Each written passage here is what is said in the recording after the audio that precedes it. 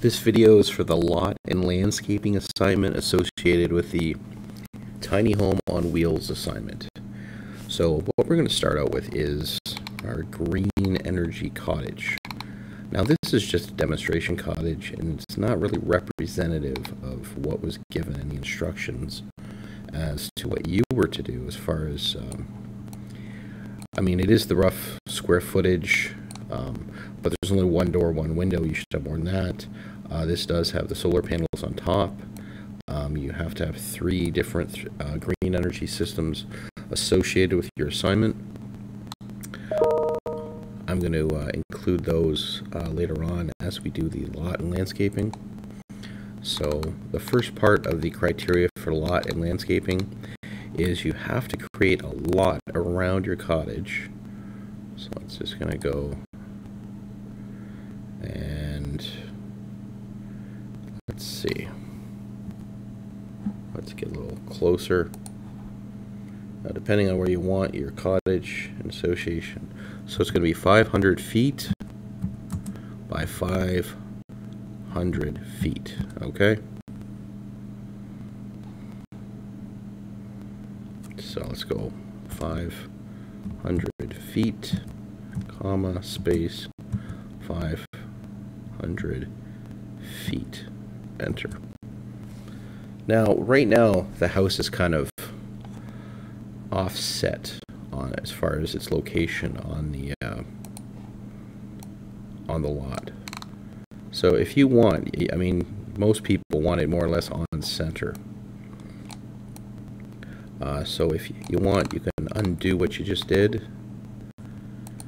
Uh, one way you can fix it is you could turn your cottage into a component and you could maybe more or less move that component around although you you turn your house into a component, you're going to be uh, dealing with complications if you have to make any changes to the house later, because it is a component. So you might want to just do something like that. It's roughly in the middle.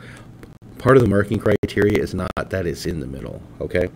I mean, you don't want it offset like to this little corner here, but I mean, if it's here, if it's in a roundabout area of the middle or, you know, has decent uh, a decent amount of space between the outside of the lot and the cottage. That's pretty much all that's that I'm looking for is in the marking criteria. Okay, so we've got our 500 by 500 check. Add landscaping, trees, grass, bushes. Okay, let's go over to our 3D warehouse. Well, let's first add grass. That's an easy one, okay? Let's go over here, landscaping, fencing, Vegetation. There's our grass. Click, we have grass. Okay. Uh, you, are going to want a driveway. That's part of the criteria. Uh, it wants a driveway with a car. Now you can get fancy and uh, you know you can have like a winding driveway. That's your call. I'm going to say, let's see, what do we got? This is kind of, we got some interlocking stone. This makes for a really fancy driveway. You have to zoom in to see the texture, but, uh, but it is there.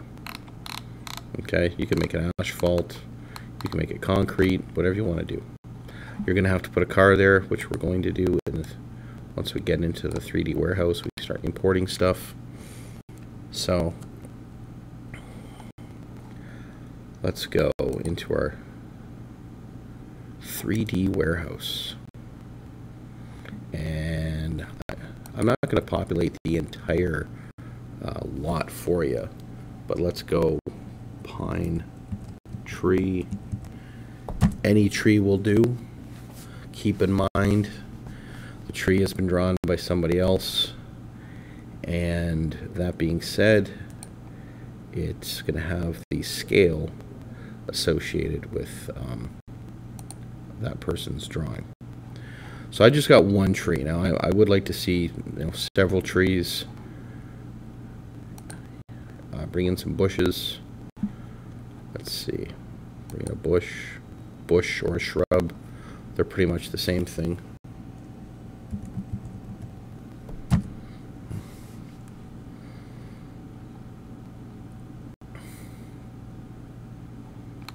Okay, so here's a shrub.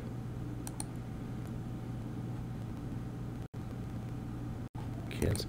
If it, if it warns you that it's a big component, I would really don't do it. Especially as a shrub.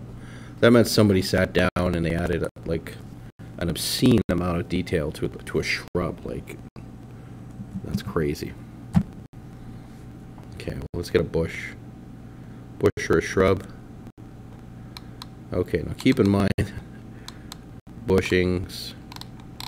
Let's go back to shrubs.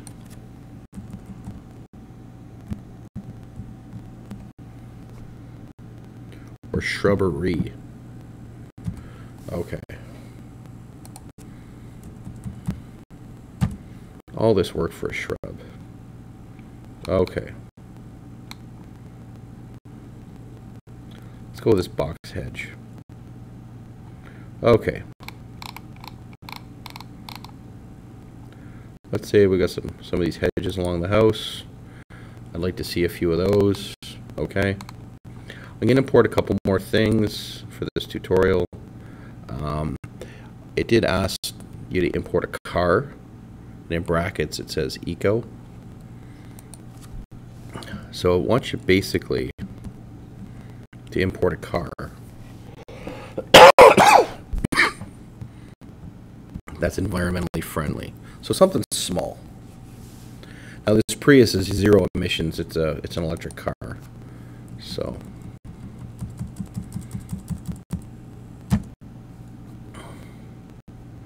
they don't seem to have any. So let's look at what they do have. Gar. So a Land Rover, not so eco. So you want to kind of, unless you've got a certain car in mind, you want a compact car. That's what we want. Compact car is small. Okay, on face. Okay, let's rotate that.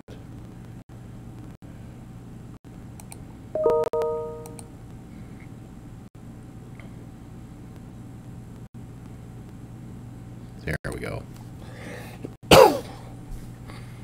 now, last but not least, one of the green energy items that this house comes with, or at least I'm going to say it comes with, is a water reclamation system, which means any water that falls on the roof goes into a tank and you can use it inside the house. So let's get a water tank.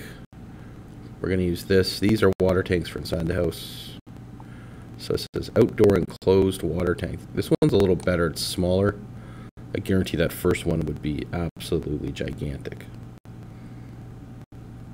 Put this behind the house. And perfect. Okay. Now this just touches on fulfilling the basic criteria and how to do it. Now I would expect to see landscaping around pretty much the entire lot, okay? Uh, you don't have to include the dimensions 500 by 500, although I will be checking that with my measuring tape when I mark it. Um, and if your three systems are not apparent, like this is pretty apparent, those are solar panels, here's a tank, uh, there could be another energy system inside the house. If it's not apparent, list it in 3D text either on the lot or off the lot or in your submission.